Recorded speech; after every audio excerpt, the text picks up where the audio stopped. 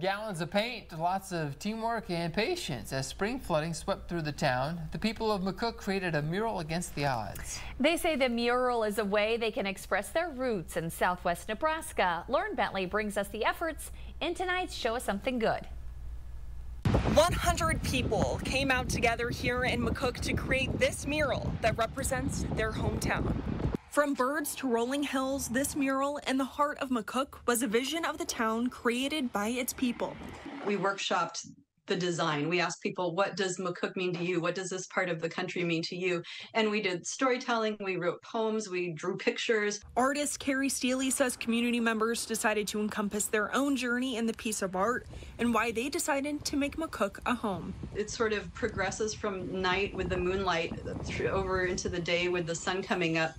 And um, the geese are symbolic of migration because you know everybody who lives here, their family at some one point or another, either their fam- their families or they, themselves migrated here.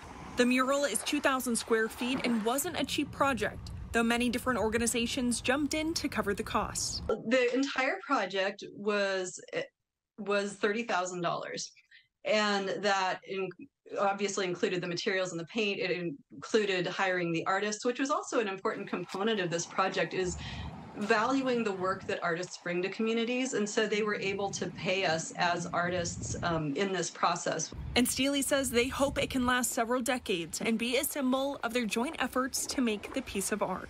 I feel like after going through a project like this, I realized the value that art brings to communities. Um, it brings people together. Showing you something good.